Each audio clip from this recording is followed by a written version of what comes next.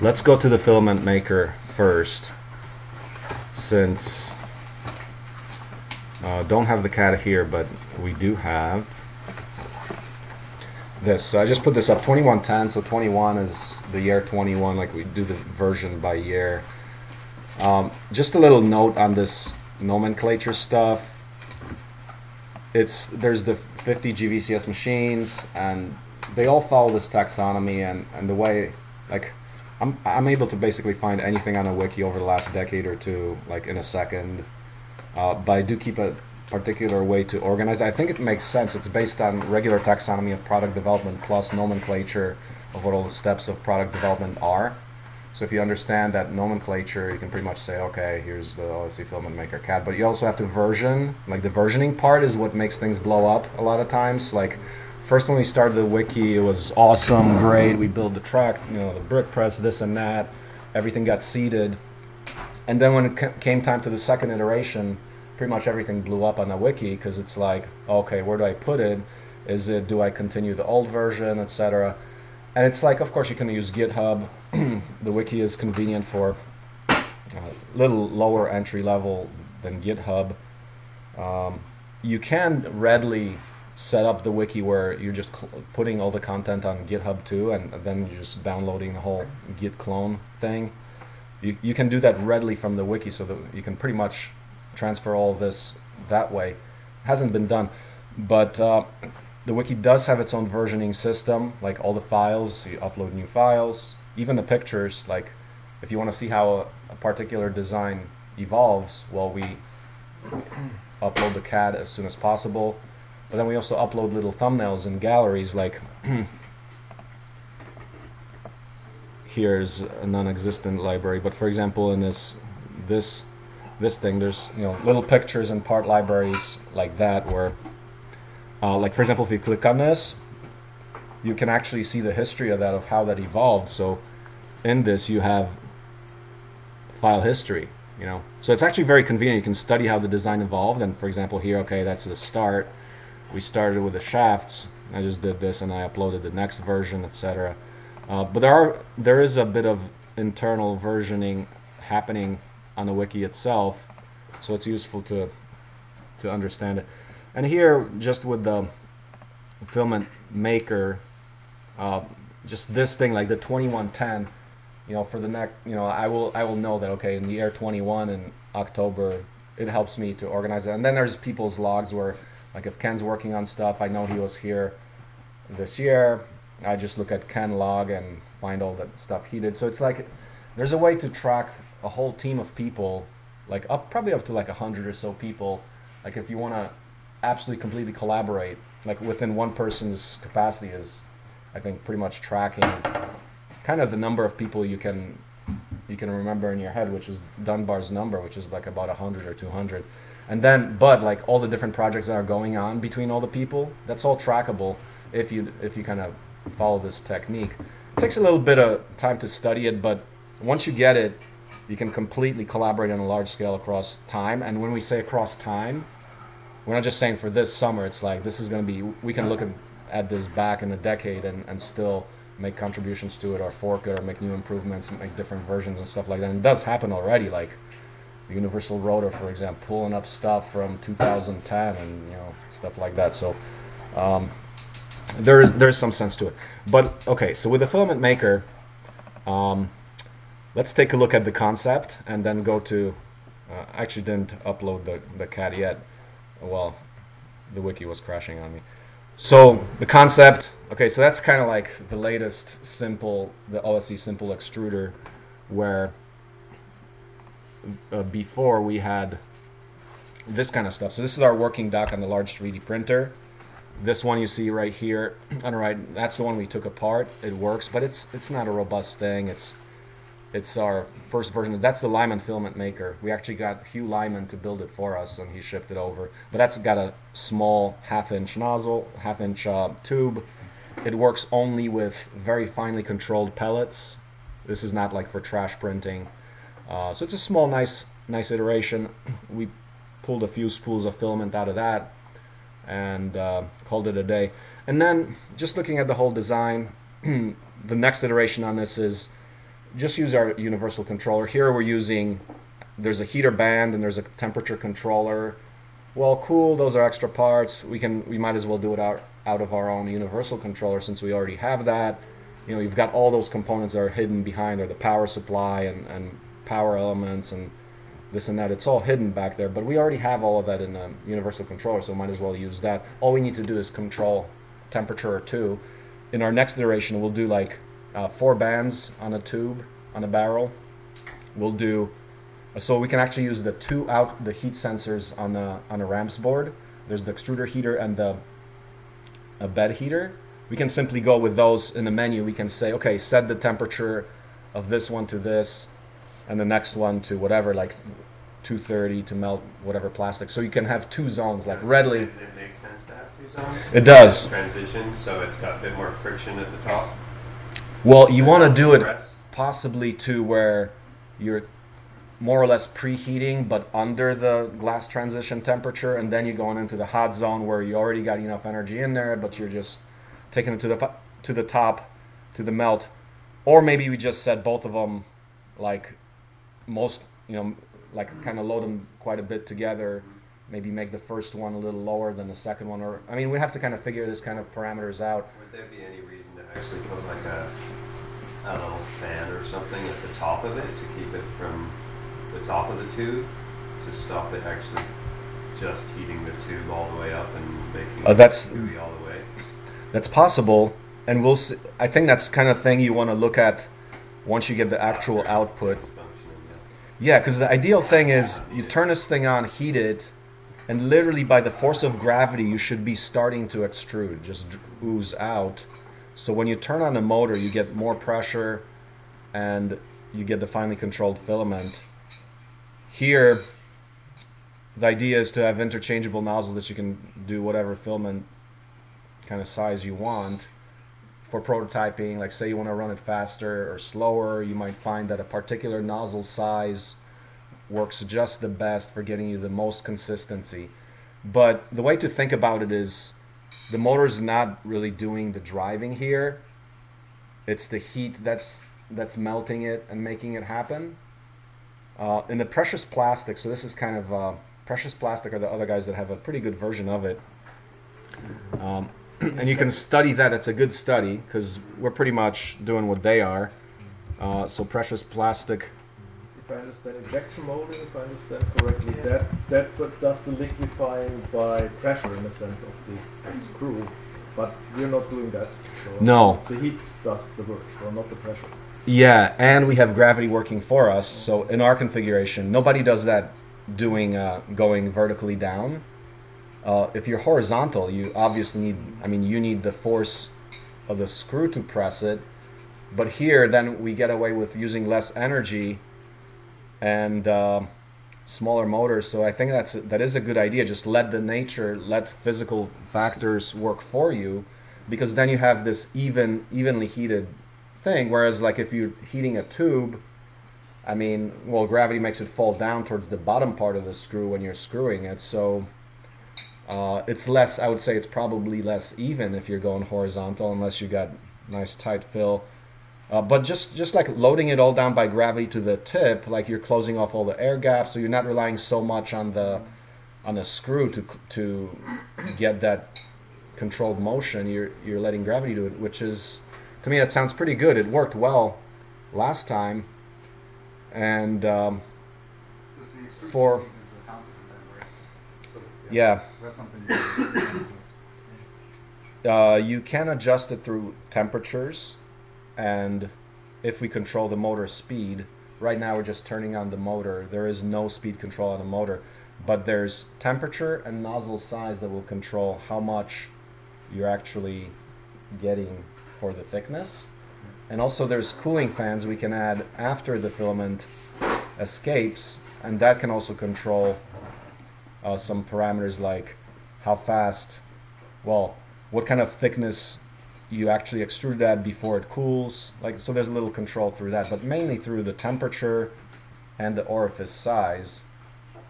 Obviously, if you know the smaller hole you have, the less diameter you're going to push through. The larger, the larger it's going to be. And the thing that's a critical thing is we don't really care if we're off that magic 2.85. What we care about, like we don't care about a specific number, we care about consistency. Why is that? So, so say we got a big run of filament, we ran it overnight, and everything just came out to be exactly 2.7. We got 10 spools of that. We ran, you know, we had a, had a production run. Well, so what? Put it into Cura. There's settings for filament diameter. That already adjusted perfectly. So as long as you're within the nozzle thickness of your printer, which is 3 millimeters, you're good to go. You want it to be as close to 2.85 or 3 2.85 which is under 3 so if you have over 3 like you're gonna get a jam. So you're a little under 3 typically. That's what you want so you can feed through actually. Uh, so the only disadvantage of having off the 2.85 is that you fill less of the neck and if you're too thin like for example running 1.85 in a 3 millimeter nozzle system in a 3 millimeter heater tube thing you can it's easier to get jams because if you're retracting and, and going forward, you can get this backup because you want this whole plunger of filament filling up the whole Yeah. circumference of what you have. But at the level, like say we get perfection at 2.7 uh, millimeters, uh, or for some reason we have this sweet spot where we're just getting to, you know, just a nominal number 2.7 as our, as our, for some reason we get that with this kind of uh, uh, material. Then we can say, okay, we set that in Cura for one, cool, we're pretty close to 2.85. But then also we can say, okay, well, if we find that we're building housing and now we've got this whole cluster of printers and we got everything at 2.2.7, we'll just make our nozzles or make our um, extruders 2.7 or you know a little smaller because we can do that. We we can take an existing uh, nozzle. You can take, for example, a 1.85 millimeter nozzle, drill it out with a 1.7 or 1.8 millimeter drill bit. That's completely doable. That's a pretty easy thing. So we kind of have the control. Like we don't need to be like, oh, we need to be 2.85 sharp on this. We're cool, but we want to be consistent. But also with the consistency, how much consistency do you need, right? So what does consistency mean? That well, it means that, for example, if you have 20% infill, if you're expecting to be running at 2.85 millimeter diameter and you actually have 2.95, well, that's only a few percent off. Where you're going to get the only way it's going to be visible is on the edges. You might see like little extra unevenness because you got more. But on the inside, it's actually going to help you. You're pressing more. You've got 20% infill, and you're actually getting more filament in there, and you don't see it, and it's actually stronger. So you don't really care. Especially if it's big parts, where it's such a small percentage, like say on, on your wall module that you're actually printing, you don't care. Like think about dimensional lumber, two by fours. They can be off like a whole bunch, like more than that little five or ten percent that we're talking about right here. So, I mean, we've had uh, like if you guys remember, we had the two by twelves that were all uh, not 11.25 but 11.5 in one batch. You know, so uh, we're allowed a little bit of this leeway here. So because we're trying to go for for complete trash, like the dregs of civilization here, we're gonna burn it down and melt it down and rebuild it into uh, usable material. At that point, you want to have max control over all the variables, and you want to be able to deal with inconsistency or or the irregularities that we're gonna go into, because we're dealing with all kinds of filaments. And if we want this filament maker to be used for just about everything, you'll have to accept a lot of variables such as like when I, what I mentioned, the 2.7 diameter for maybe polycarbonate does that to us, but ABS turns out to work well at 2.8 for some reason. It's all like the flow characteristics and all this. This is whole science of materials where there's infinite number of plastics.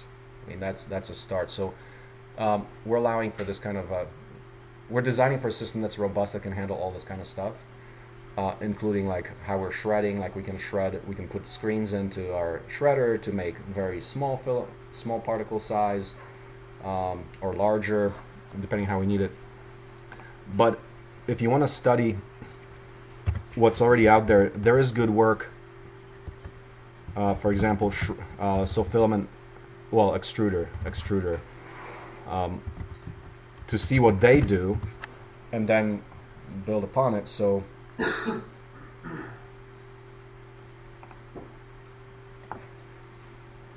like in this in this extruder here so.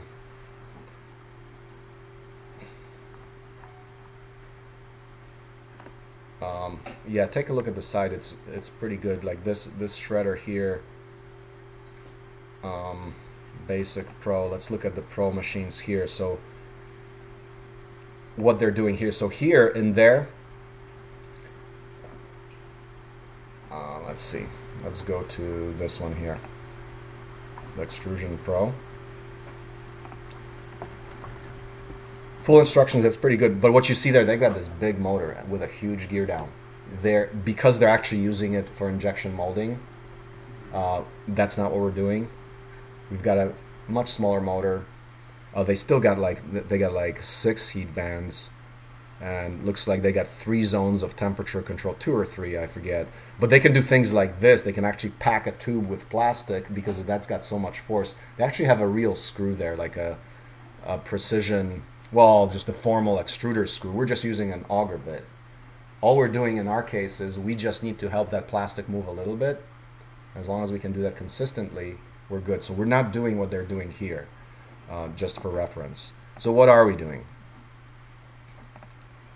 Um, so so this is the concept. It's this big hopper, a motor, coupler, uh, heater barrel, band heaters, band heaters, band heaters, like four of them. Uh, since we have a one-inch pipe, and what what's the length of that drill bit? 18 total, with like 12 of uh, flutes. Oh, 12 of, yeah, it's 12 and a half, I think, of actual drill bit, and then the shank is Another six or so. or six. Okay. So something that looks like this. Here we've got also the nozzle where you have the ability to screw in different nozzles of different sizes. We've got a few. So that would be basically like take your one inch pipe, um, thread it down, not thread it down, but put in a fitting that has a half inch. So do a, a one inch to half inch and then screw in your nozzles that you can drill out to whatever size you need. We've got a few different nozzles here already from the previous work. And then we can do try some fans. So like in CAD, this is what it actually. I, just decided it's, I couldn't upload it, but it's it's uh, all uploaded. Basically, I thought about okay. There you go. Do a polycarbonate front screen so you see how much stuff you've got inside. You've got a wood backing board. You've got two by sixes. you've got metal plates on top and bottom. So sorry, I can't rotate that. It's 2D. But on the bottom where the tube attaches, that's the that's the only sensitive part where you're hot there. So you want to have a metal plate, and there's actually you're talking about fans. Yeah, we could probably use a fan under that bottom plate, which we would make like um, eighth inch or quarter inch steel. And the rest of this here is that's two by six lumber for the hopper. You've got a coupler connecting the motor that we have, and um, what I would do actually for the end of the drill bit, maybe dull it up a little bit and let it rest at the bottom or something like that. So, and it doesn't spin too fast. Um, it will have resistance where the when you're going against the plastic, it will tend to push the bit up.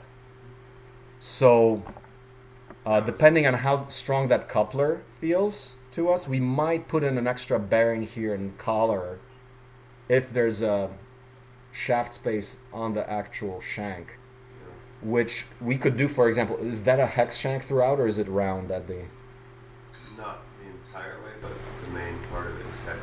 yeah there's a part that's hex which where you question okay how do i get a hex bearing of that particular size? Well what we could do is for example take a we do have one inch hex bearings. We can 3d print a, an insert to grab the shank and actually put a set screw in there to do something like a collar which prevents the shaft it basically holds it from axial thrust meaning pressing against the shaft of the motor or going down too much and wearing out your tube at the bottom or something. Uh, so we could try holding it but i mean initially we, we can probably run it uh, the way they have it in the Lyman version of this they had it where um, was a little like if Ben you opened it up. There was a little thrust washer there where uh, the actual shank of the auger was held in place. It was prevented from going into the motor. Yeah, it's a little by this little bearing. Uh, so that, that is a good idea. By all means we probably uh, I would maybe just start it see how it runs with we do have nice couplers for the motor, which is already half inch shank, so it's that's a pretty good connection. I'm not sure we're going to need more thrust bearings on that. Uh, here, I think for the precious plastic version, um, first they use, well, they, they have a, an aluminum coupler with very small set screws. I'm not sure we're going to need it with what we have. We do have a nice coupler for this particular shaft. We're going to weld up basically. Uh, we have a it's actually a 12 millimeter coupler on the motor. The motor is 12 millimeters. And we're going to hex. How do you do it? Well, a coupler welded to a hex socket bit, which we actually, we tested that. We have a bunch of bits that fit that so you can get a nice welded coupler. That's like the most critical part. Like, can you drive this shaft uh, without nothing? So we're welding the the socket um, piece onto the coupler. Yeah. Yeah, yeah, we are. So, um, socket, so motor coupler to sock socket. Um,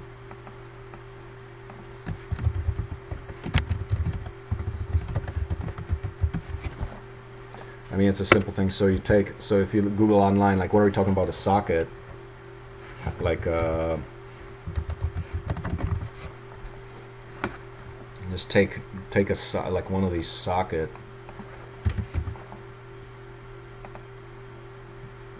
Yeah, there's these things, images online. Let's let's grab that, grab an image. So we're gonna take, you know, one.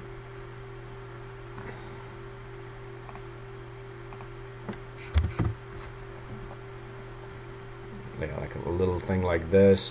We're actually gonna take one that's got a thin upper part, like more like uh, one that in practice looks more like these, where they have a thin part and a thicker part. So the thin part is gonna go onto. Let's let's uh, take a little screenshot. It's it's gonna be like one of these here. Uh, maybe like oh, I could take this one. Something like this.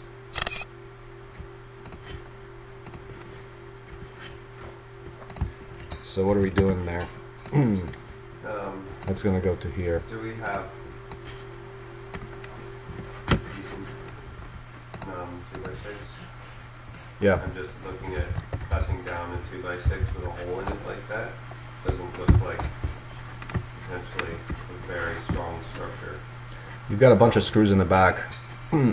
uh, yeah, that's uh, if you look at I uh, was kind of wondering if, if that bottom plate, where the drill that actually goes through is steel, I kind of wonder if those side plates shouldn't also be metal. you can, but it's just much more. It's more work. Uh, you can minimize that hole size. All you need to do is make sure that stuff falls in there.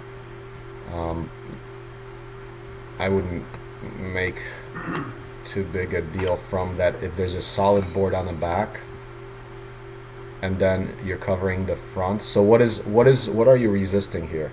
You're resisting the, the torque of the motor against the resistance of the plastic where as we said like if you get the temperature to do the work for you the force there shouldn't be a lot. what you have so effectively what are you holding that with? You've got about 10 inches of plate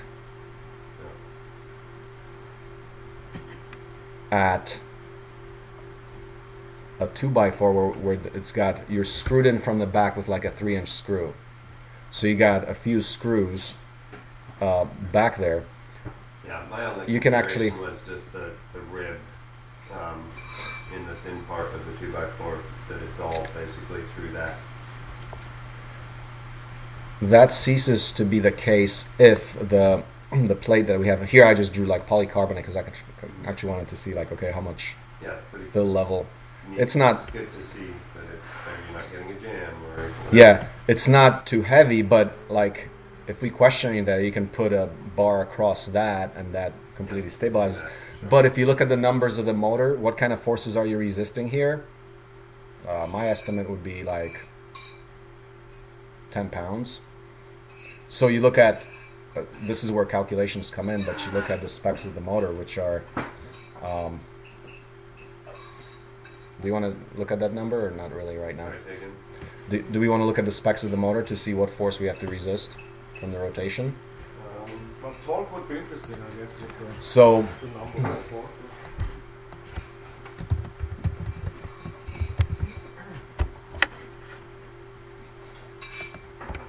So under Lyman Filament Maker, we've got all these specs like uh,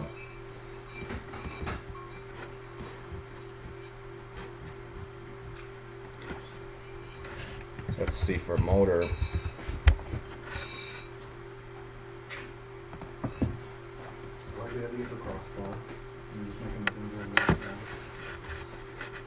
Yeah, let's see. There's uh, so Phidgets is that's where that motor. Well, let's look at the BOM of the filament maker.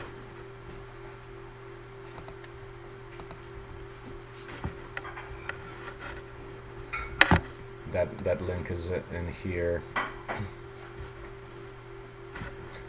To the BOM. Hmm.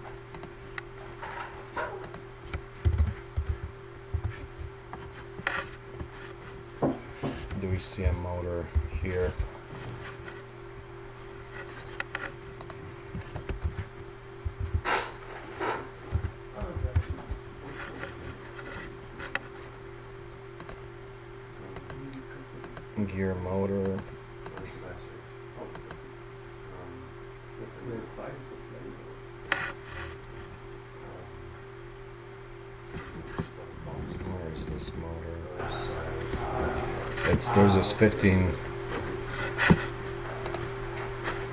I know this is at phidgets.com.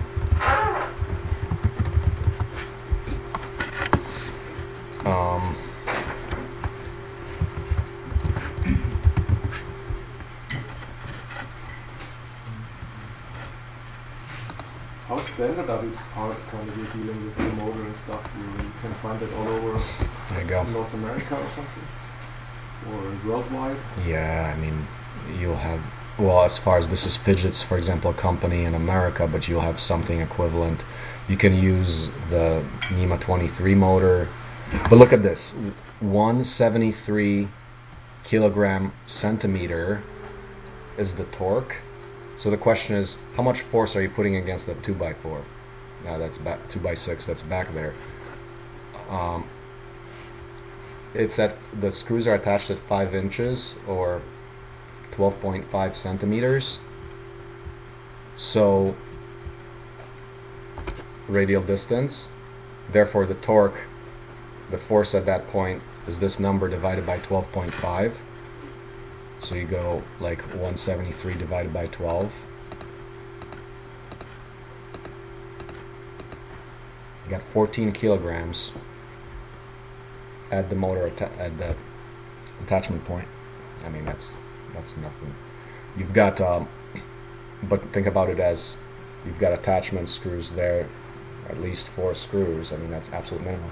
Each screw holds 300 pounds as the rating of a of a standard deck screw uh, in terms Yeah, of clamp force. It's like just a, a single screw will hold us down by a factor of of 10.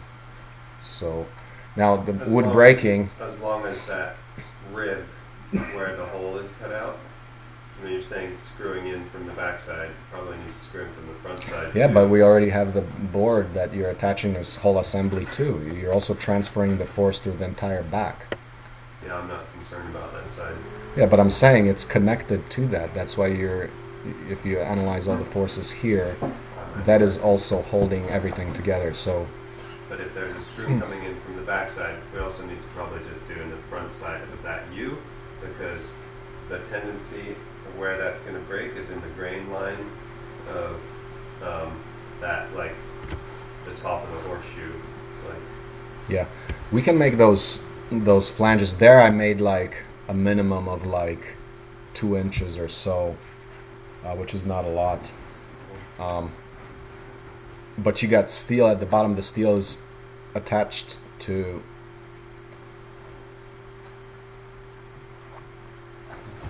If we're like, if, if there's a concern on that, you can do actually like a vert, like you can slap a two by four across this and that, or like just vertically here to completely get the tie-in between the top plate and the bottom plate.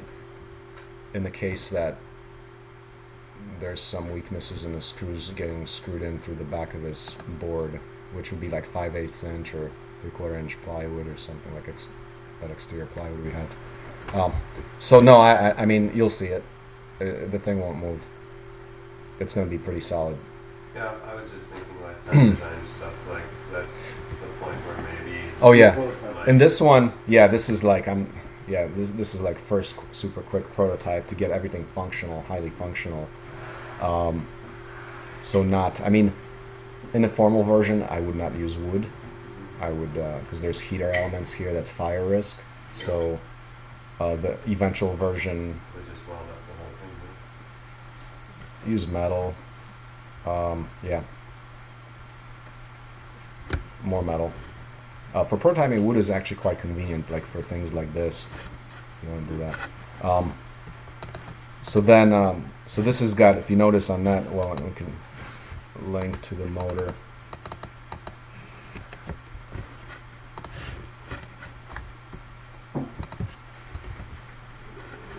That's going to be that. Okay. Um, simple idea. So that's that's pretty much the extruder. And what's the idea there? You've got this big hot, like okay. So just to analyze, like I, I looked at this. Okay, cool. You got your little funnel there for the hopper. I was like, okay, I still need a hopper here. Why don't we just add a backboard to it, hang everything on it, make that backboard part of the hopper? You know, just try, trying to say, uh, I kind of had this design here, but I just went forward and this is what I came up with uh, last night. Oh, there's a little fan fan elements at the bottom there, so if the filament is extruding from the bottom, you can cool it. Or maybe we don't need the cooling. Maybe you actually want that little bit more of elongation there. Uh, that will probably control a little bit on your filament diameter. I mean, this is all a bunch of playing with Yeah. actual materials to see what, what the specific parameters are. Um, those fans could be turned on by our universal controller. But here we can have two zones of heating out of the box. I do believe the Marlin is set up for three temperature inputs, so we could get stock Marlin to do up to three zones. If you you'd have to change some lines and configuration and uh, configuration files. Um, Does it, would it work just to stack two heaters into one connector? two heaters into one connector. Yeah. Sure, if you run them in parallel, Yeah. you just uh, drawing double the current. These are only like 100 or 200 watt bands, so they're not like a kilowatt or something like that each. They're pretty benign, like a couple of hundred watts. So we have like 800 watts of heating power. For comparison, your extruder does 40 watts. So here we got like way more power than our extruder, and we already know that the extruder can get you extrusion. Uh, we normally go with 1.2 millimeter filament, and if we go slower, you could probably extrude, Nozzle. Uh, yeah, nozzle like even larger um, nozzle diameters. So 400 watts or like 800 watts, that's like plenty of power to the point where we're just melting the thing. I mean, I'd be curious to see if when you're just melting it, and you've got this vertical configuration. Is that enough? I mean, there's that gravity of all that mass. Like you see the extruder on our printers oozing like it does when you stop. I mean, this might not even need to run the motor or something. We'll, we'll see. Um,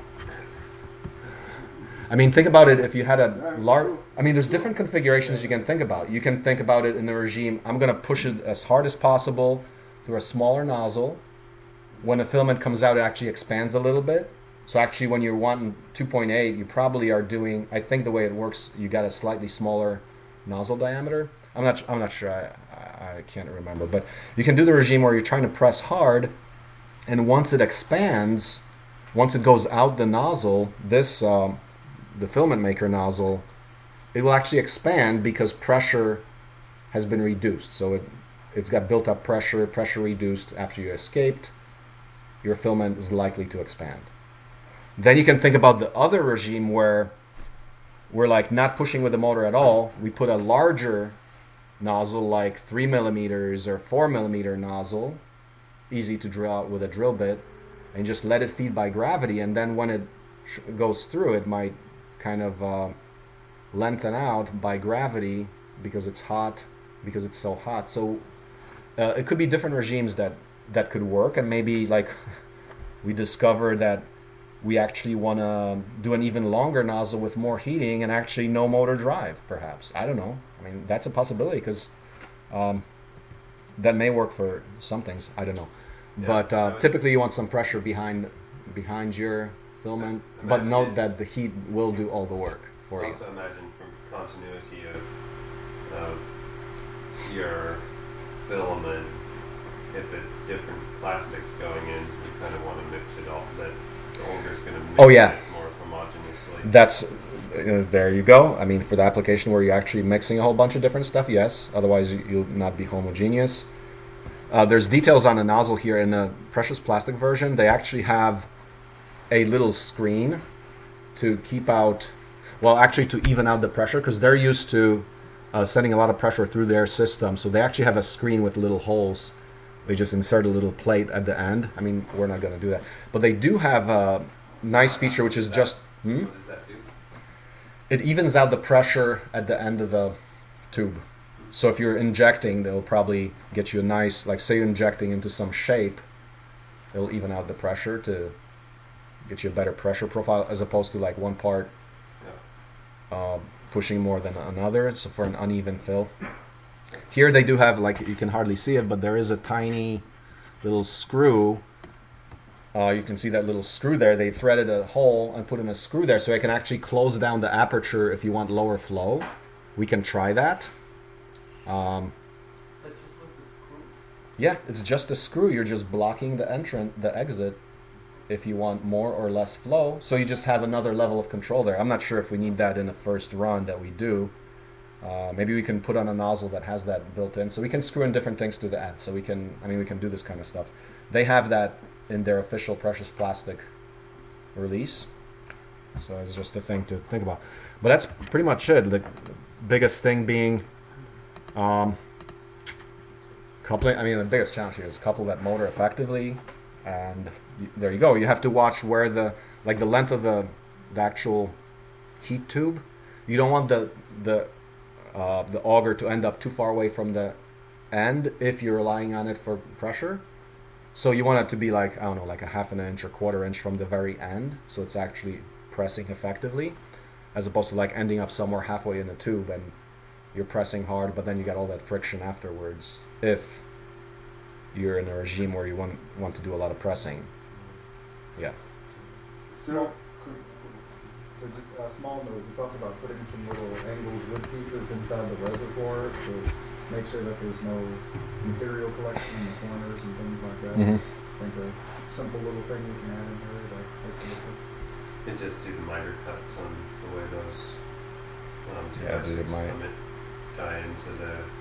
I mean, what you're saving there is you're saving yourself. You got. Um, personally, I wouldn't bother for the reason that you're saving yourself this volume. This volume compared to the entire volume of the hopper is pretty much insignificant. But if you want that kind of tight control for like switching between materials, yes, that's a good idea. You'll get cleaner. But the assumption here is like I would just open up the, the front and just clean it out. Because you probably want to clean this out sometimes anyway. Uh, I like the idea of the transparent face so you can clean things out readily, like as opposed to Yeah, This thing, how do you- how do you open that up?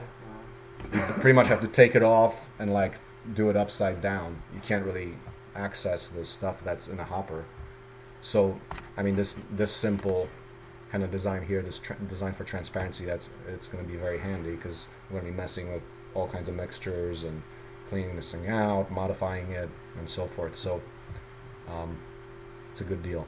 There, just put a few screws here and have that accessible, or put like a little door in there, little latch or something if you want to do like a little smaller door that you take off, so you don't have to take off the entire thing. And I guess there's not gonna be, there's really not gonna be a lot of force pushing out on the, on the, the walls. Like Uh, back walls there. of what? Like, I don't know, like Pipe, if they're plastic or something, it's not. Oh, it's That's not just the weight of the plastic. There's Pushing out, it's gonna just be grabbing it and pulling into the tube, it's not gonna be like pressing.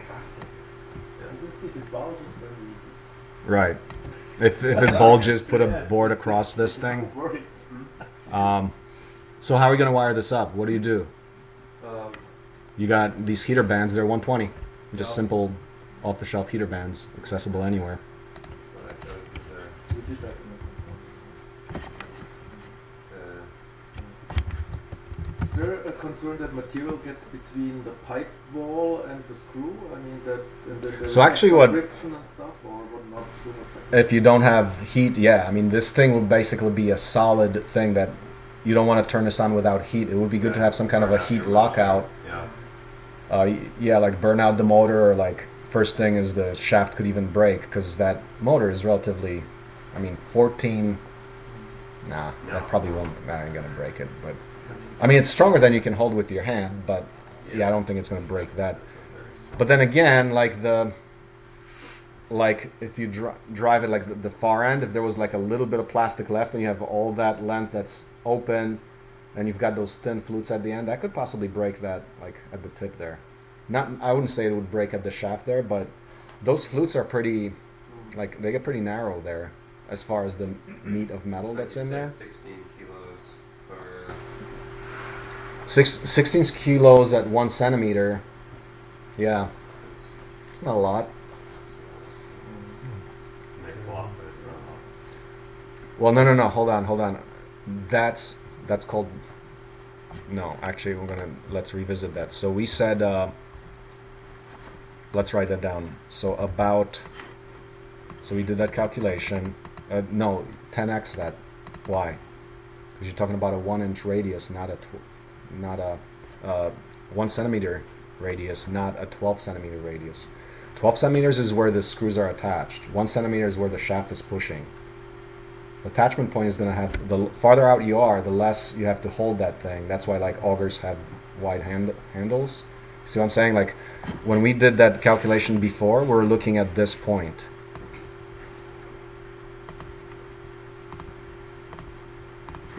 there that's the attachment of the screws now we're looking at the point much closer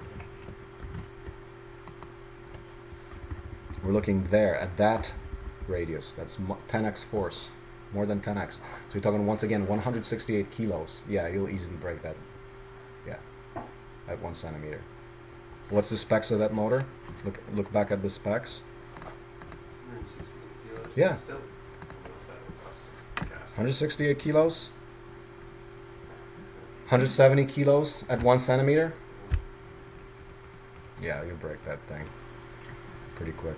But um, They tear apart the machine, but I don't think. with the That's where you. That's We have where a solid coupler. You, that's where you need.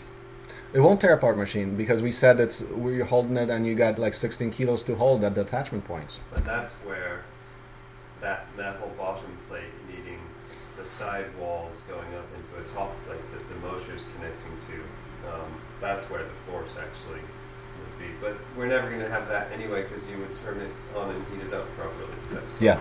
Extra credit for that assignment for you later on FreeCAD, FEA analysis. So the which? FreeCAD FEA analysis. FreeCAD has finite element analysis where you can simulate the forces. Okay. It's got advanced engineering capacity. You can actually put that in and say, play, this is the force we're applying at that point.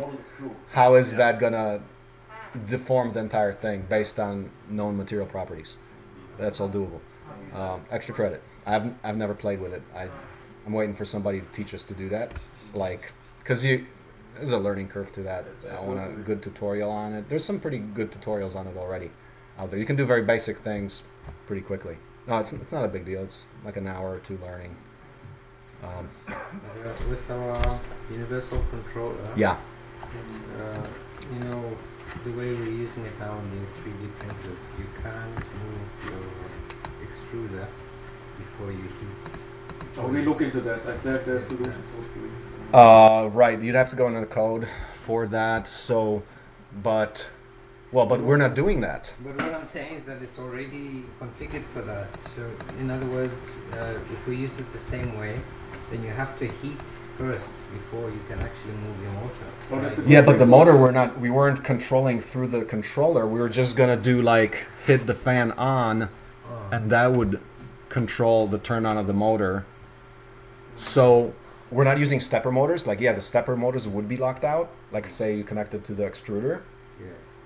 those would be locked out, but not like you can still control another pin if the temperature is oh. not high. So now of course you can modify the firmware and all that to do whatever you need to do, but we're just saying we're we're just hacking Marlin back and forth for different projects. And yeah, of course you'd you know get someone software person to now this is our OSE shredder firmware, etc. I want to actually migrate to the universal controller for the brick press because if we're already building one thing, like why do I want to get all these other components for this dedicated box? So that I mean, and then you're actually quite convenient. You can select, okay, full brick height, half brick height, and you can do that all through the little LCD instead of having a bunch of knobs. Right now we use a mechanical switch where you switch between like four settings. Well, that's a big part, a lot of wires. We already have all those wires in the controller, and you can do that through. That now controls your software um, through a simple screen, so that's more convenient. And also, they have LCD touch screens for the same RAMPS. That's also quite convenient. Um, we're not, we're just using the push button thing, but yeah, this would be. It's your nice little display here. Um, What's the voltage level with the components you're using in the system? the heating elements? Right, the heating elements are 120. This is uh, 24, I believe. 24V, so remember that. Um, so yeah, the voltage levels are important because you don't want to put like 120 into this motor. You'll fry it immediately. Um, that's 24 DC, and we can pull out the supply, power supply that was with that already. These are 120 AC.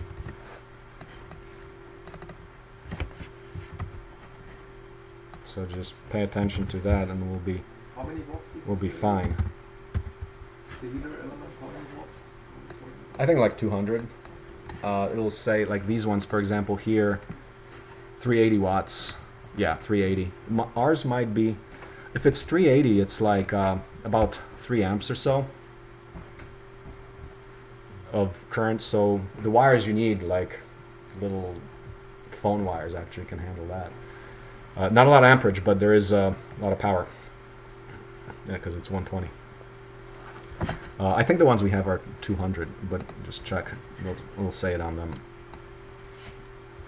Um, what else?